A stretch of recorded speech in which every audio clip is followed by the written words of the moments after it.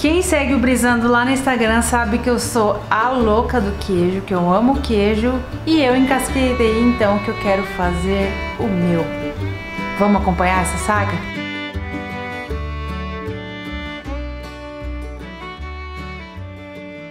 Oi gente, eu sou a Carla, o Brisando na Cozinha e hoje estou aqui assim ó, bem no freestyle. Por quê? Porque hoje eu vou trazer vocês para essa experiência do meu primeiro queijo. Sim, vou fazer meu primeiro queijo pela primeira vez e decidi gravar para mostrar para vocês o resultado, independente se ele for bom ou ruim. Então, vamos lá, espero que vocês gostem e já vai dando aquela curtida aí para ajudar a gente e sem enrolação, vamos direto pro vídeo. Então, o que, que a gente precisa para fazer um queijo fresco? Um termômetro, esse aqui é de carne, mas eu vou tentar usar ele. Coagulante líquido, esse aqui custa cerca de uns 7 reais. E leite, esse aqui veio direto da roça, hein? Tem 4 litros aqui, vamos ver quanto vai render. Como base eu vou usar a receita da minha amiga Anali Correia, do Instagram Gourmet na Cozinha. Ela tem um videozinho super legal aqui, super didático aqui, ó. Siga o Instagram dela, inclusive recomendo. E ela tem um videozinho aqui super didático, ensinando a fazer o queijinho. Então, vamos seguir aqui as instruções dela. Bom, ela fala então pra gente colocar o leite aqui na panela. Eu tô usando um leite que veio direto da roça, veio até nessas garrafas PET, o que é bem comum por aqui, viu, gente? Eu não sei aí na sua região, mas eu sempre vi dessa maneira. Então eu vou usar aqui 4 litros de leite. Pelo visto é bem gordo esse leite. E para fazer queijo, quanto mais gordo, melhor. E vou pesar já 16 gramas de sal. A Anali diz que são 4 gramas de sal para cada litro de leite. Então, como a gente tem 4 litros, multiplica por 4. Tá aqui, então, 16 gramas de sal. Vou colocar aqui. E já vou acender o nosso fogo, então. Lembrando que a gente tem que controlar essa temperatura aqui, hein? Enquanto isso, eu vou misturar 50 ml de água filtrada com 4 ml do nosso coagulante. Na embalagem diz que uma tampinha tem 5 ml, então eu vou colocar um pouquinho menos que uma tampinha cheia aqui. Eu vou misturar nessa água o coagulante. Eu vou pegar aqui nosso mega termômetro, que não é específico para isso, mas é o que eu tenho aqui. Vamos ver se vai dar certo. E eu vou deixar aqui, ó, a até esse termômetro atingir os 37 graus. Vou ficar aqui na calma, na paciência, até atingir essa temperatura. Ó, por enquanto ainda tá nos 25. A gente já tá quase chegando na temperatura, ó, já passou dos 35. Vou esperar só chegar aos 37 para desligar o fogo. Tá aí, chegou. Desliga imediatamente. E já coloco o coalho no mesmo momento. Dá uma leve mexida. E deixo isso aqui descansar agora por 30 minutos. Será, gente? Ai, meu Deus do céu.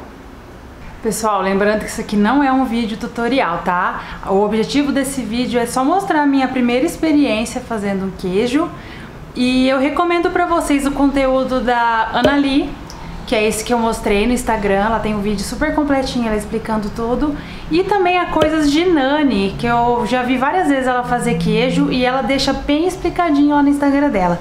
Vou deixar os links aqui na descrição, tá? Enquanto isso, eu vou mostrando aqui a minha experiência. Já se passou meia hora que o coalho ficou agindo ali no leite com o fogo desligado, ficou quietinho ali. Enquanto isso, eu peguei um outro potinho, ó, desses plásticos e fiz furinhos. Para caso aquela forminha não dê para a quantidade de leite, eu já fiz aqui uma outra forminha de queijo, beleza? Então vamos ver aqui se coalhou. Parece que deu certo, ó. Ó, durinho. Aí eu vou pegar um acessório aqui de silicone, ou pode ser de inox também, e fazer cortes. Ai, que emoção! Nessa massa.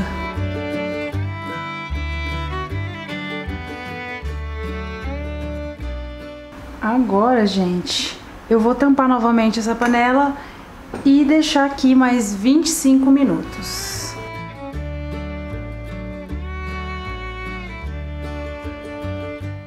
Passaram-se mais 25 minutos. E olha só como a massa do queijo já desceu e o soro veio para a superfície. Aí, eu já preparei aqui, ó, a nossa forminha tá aqui. Embaixo dela tá o escorredor de macarrão para dar uma alturinha e dentro aqui de uma tigela para escorrer esse soro. Mas antes de tudo, eu vou tirar o excesso desse soro aqui para facilitar o serviço.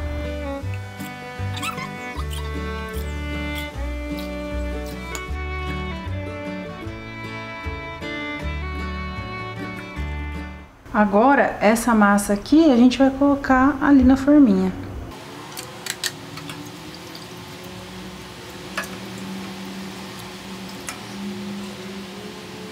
E aqui eu vou dando uma pressionadinha para escorrer esse soro que está aqui.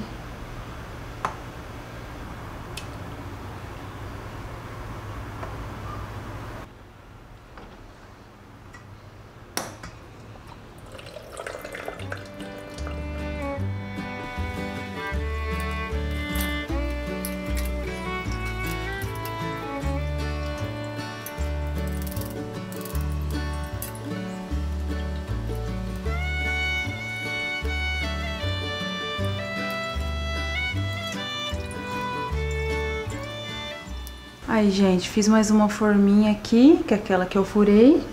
Vai dar um queijo bem pequenininho, porque isso aqui ainda vai diminuir bastante.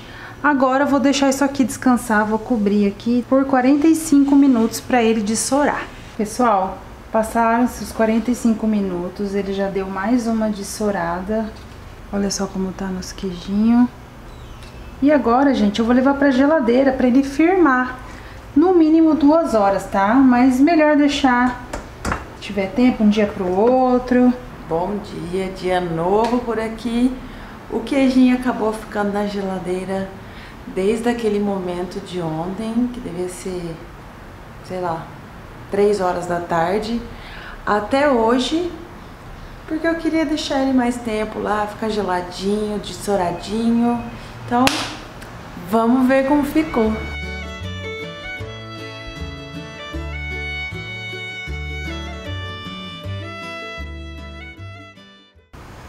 Ficou com essas bolinhas aqui por conta do escorredor de macarrão que eu usei. Vou colocar na minha queijeira linda. Vou deixar aí o link na descrição de onde você consegue uma dessa. E olha só nossos queijinhos.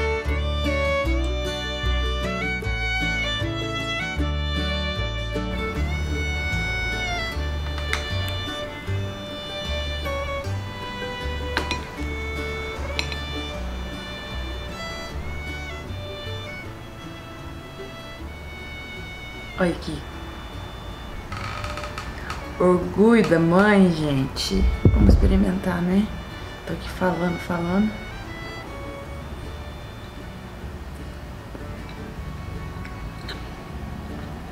Ficou bem suavinho no sal. Eu colocaria mais. Mas tá ótimo. Meu primeiro queijo. Acho que deu certo. Espero que vocês tenham gostado de acompanhar esse processo comigo. Se você gostou, curte aí, se inscreve no canal e até a próxima. Bom dia!